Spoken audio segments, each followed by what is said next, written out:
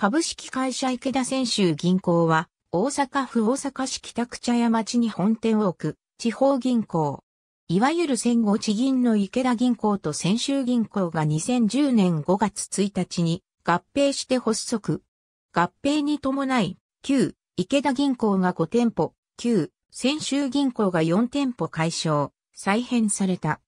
旧池田銀行の大阪梅田営業部が本店となり、両校の本店は旧校名を冠した営業部に、旧池田銀行堂島営業部は支店に降格された。また名称が重複する店舗の一方が解消されている。支店コードは全店舗で変更はない。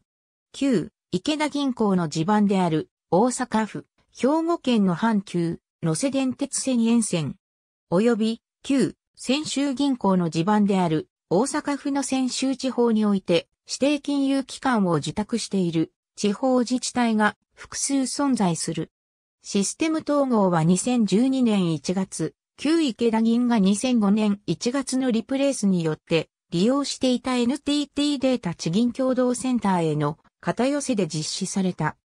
視覚障害者に対するバリアフリーの一環として、音声案内機能付き ATM の設置、そして窓口、振込手数料を ATM による振込時と同じ手数料体制をとっている。存続業である旧池田銀行の流れを組み、宝塚歌劇団の娘役スターをイメージガールとして起用しており、同行の最後のイメージガールとなった野々住花が初代イメージガールに横滑りとなった。レイビウララを経て、現在はアリサ瞳が起用されている。合併の時点では混乱を避けるため、店舗名称は大阪梅田営業部のまま変更されないが、合併前の良好本店であった池田営業部、泉州営業部に代わり、本店窓口の扱いとなった。店舗名称の変更は、システム統合後の2012年10月9日に行われた。ありがとうございます。